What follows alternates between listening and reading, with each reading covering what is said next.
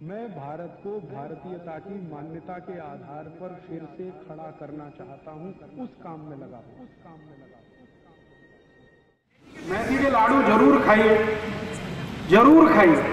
मेथी के लाडू बनाइए गाय के तूप में और गुड़ में। गुड़, गाय का तूप और मेथी के लाडू बनाइए। भरपूर खाइए। सर्दियाँ आ जाएँ तो रोज खाइए। तीन महीने सर्दी चलती है कभी कभी चार महीने भी चलती है। तो सर्दी के दिन रोज एक मेथी का लाडू ज़रूर खाइए। और ये मेथी का लाडू, उनको तो अच्छा ही है जिनको डायबिटीज़ है। मैं आप सबको, माताओं बहनों को एक जानकारी दे देता हूँ, ये मेथी का लाडू इतनी अच्छी दवा है, ऐसी किसी भी आई के लिए जिसको सिजेरियन ऑपरेशन हुआ। आजकल बहुत होता है। आजकल तो जब भी मैं किसी से पूछता हूँ, सबको ही सिजेरियन होता है। नॉर्मल डिलीवरी होता ही नहीं। क्यों? ये डॉक्टरों की बेईमानी और हरामखोरी का प्रमाण। हाँ। मैं आपको हाथ जोड़कर एक विनती करता हूँ, आप बीमारी से नहीं, डॉक्टर से बचो। बीमारी खतरनाक नहीं है, डॉक्टर खतरनाक। ये पता है डॉक्टर क्या करते हैं? आई को डराते हैं।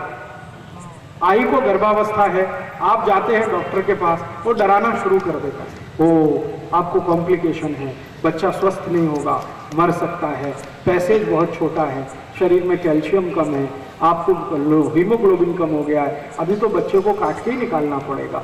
तो आई को डराते हैं, आई के घर वालों को डराते हैं, वो बेचारे सब तैयार हो जाते हैं और डॉक्टर का धंधा चल पड़ता है। अगर डिलीवरी नॉर्मल हो तो डॉक्टर को पाँच सात सौ रुपये मिलेगा, और अगर उसने सीजर कर दिया तो चालीस पैंतालीस हज़ार रुपये तो बन गया उसका।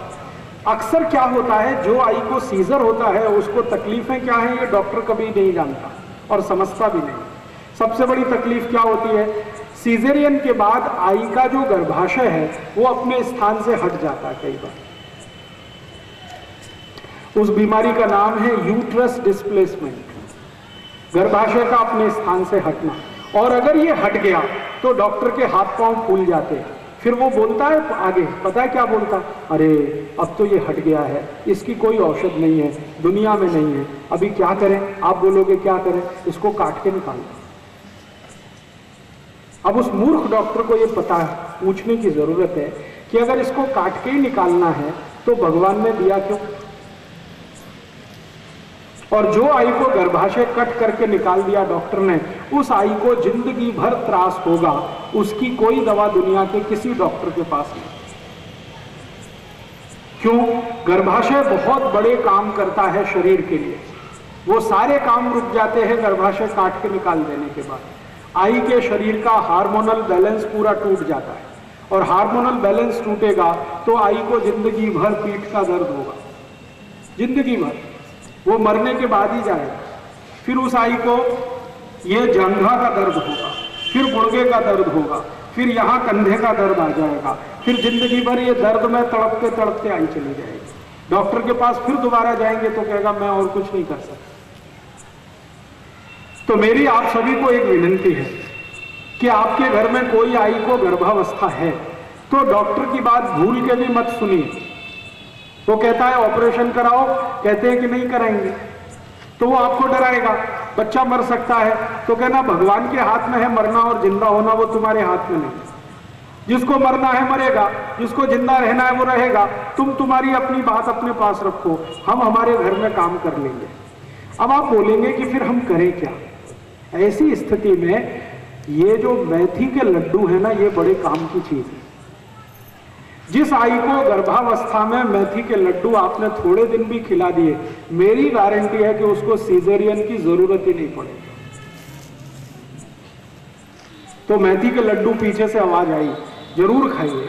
और उस आई को खिलाइए जिसको गर्भावस्था है। और इससे भी ज़्यादा ज़रूरी एक और माहिती दे देता हूँ कि अगर किसी आई को किसी कारण से यूट्रस डिस्प्लेसमेंट हो गया, गर्भाशय अपने स्थान से हट गया। तो उसकी दुनिया में एक ही दवा है और वो यही है मेथी के लड्डू।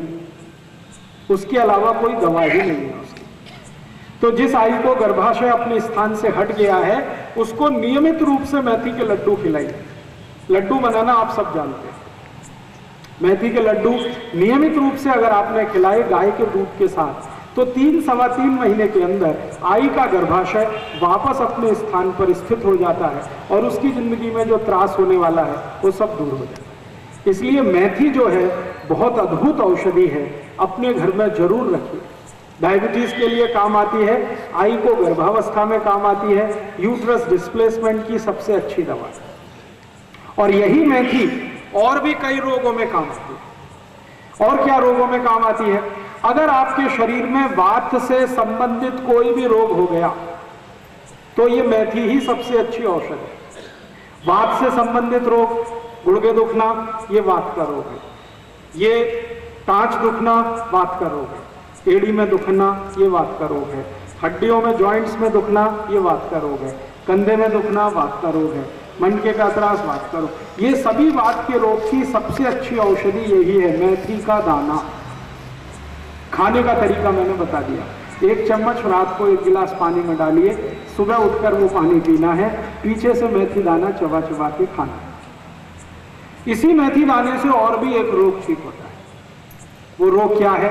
रक्त के अंदर अभी थोड़ी देर पहले मैं बात कर रहा था ना, कोलेस्ट्रॉल बढ़ गया हो तो इसी मेथी के दाने की ताकत है जो कोलेस्ट्रॉल को कम करता है।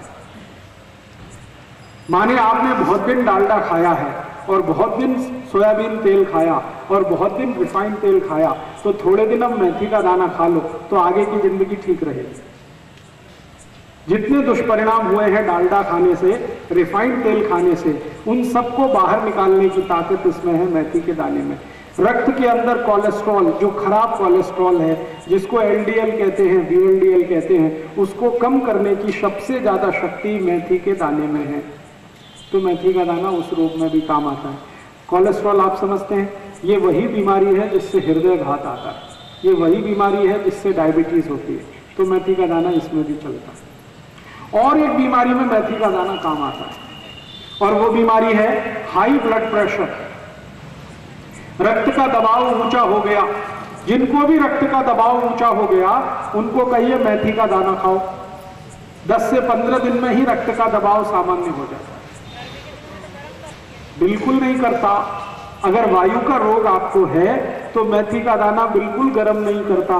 जिनको स्वस्थ है शरीर, उनको गर्म करेगा। लेकिन जिनको वायु का रोग है, उनके लिए तो वो सबसे अच्छी औषधि है मेथी का दाना। तीन महीने ले लीजिए। सामान्य रूप से सभी रोगों में तीन महीने आप ले लीजिए। तीन महीने से ज़्यादा लगातार मेथी दाना लेने की कभी भी ज़रूरत पड़ती नहीं है। तीन महीना मैक्सिमम होता है। नब्बे दिन काफ़ी होता है। तो कोलेस्ट्रॉल कम करने के लिए मेथी का दाना। शरीर का ट्राइग्लिसराइड कम करने के लिए मेथी का दाना। शुगर कम करने के लिए मेथी का दाना। ब्लड प्रेशर कम करने के लिए मेथी का दाना। यूट्रस डिस्प्लेसमेंट ठीक करने के लिए मेथी का दाना। ऐसे ऐसे मैंने 48 रोगों में उपयोग किया है मेथी का दाना। सभी रोगों में इसके बहुत अच्छे परिणाम। नहीं एक घंटे तक नहीं। एक घंटे बाद। मेथी दाना पीने के, खाने के एक घंटे बाद कुछ भी खा पी सकते हैं।